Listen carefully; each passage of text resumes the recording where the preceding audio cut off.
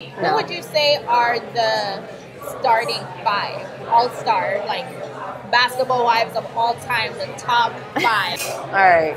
Yeah, I'm gonna start in the order. of all, so all seasons, all the girls. Jackie, Okay, Tami, okay, Evelyn, okay. Draya. Uh huh. Malaysia and Jennifer are the same kind of person to Yeah. me, sorta. Like just as far as the show goes, Uh-huh. nothing personality wise, morality wise. Just I feel like they're both a staple. Yeah, Period. I agree. I think they're both staples. I'd like to also throw in Royce Reed. She was a Oh. little firecracker. Oh, yeah. she was good TV. Roy shook the table for Roy- sure. Roy shook the Roy shook. Roy shook that. up. So, are you still, you know, friends with any of the girls from the show? Um,